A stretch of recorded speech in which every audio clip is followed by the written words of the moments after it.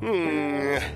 どうしたんですか店長。そんなに頭。三角にしちゃって。頭三角は元からだよ。いやね。お客様に対するサービス向上のためうちもタプリカードを導入しようかななんて考えていたんだよ。タプリカードってあのタクシー専用プリペイドカードのですか？そうそう。なかなかいいと思わない？ダメです。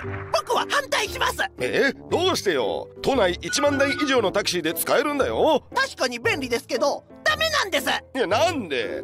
贈答品としても使えるしビジネスシーンにもぴったりなんだよ。ええええおっしゃる通りですけどやっぱダメです。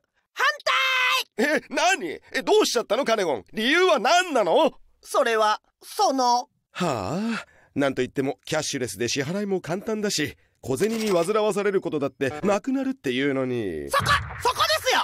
キャッシュレスだと僕が小銭をつまみ食いできなくなっちゃうじゃんいつもお釣りが足りないと思っていたけどやっぱりお前だったの？ええーと。タクシーご利用の際はキャッシュレスでスマート支払い。便利がたっぷり。楽々楽々だろ？楽々たっぷりカード。うう小銭。タクシーの支払いプリペイドなら楽々スマートタプリカード